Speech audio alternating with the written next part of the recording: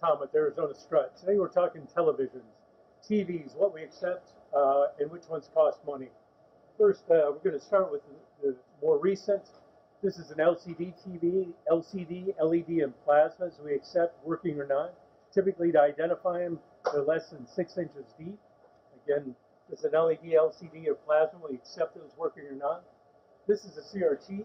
Uh, again, it's deeper than six inches. And this is a rear projection, again, deep, deeper than six inches. Both the rear projection and the CRT cost us 50 cents a pound, so we need to pass that on. So 50 cents a pound for this. This is about a 30 inch TV and it runs about, well, maybe 30 $35 uh, because of the weight. Again, six inches is the rule. LED LCDs. If it's this size or smaller, this is about 30 inches. It's measured diagonally. If it's 30 inches or smaller, we accepted our Batteries Plus stores, Batteries Plus bulbs. Uh, accept them there seven days a week.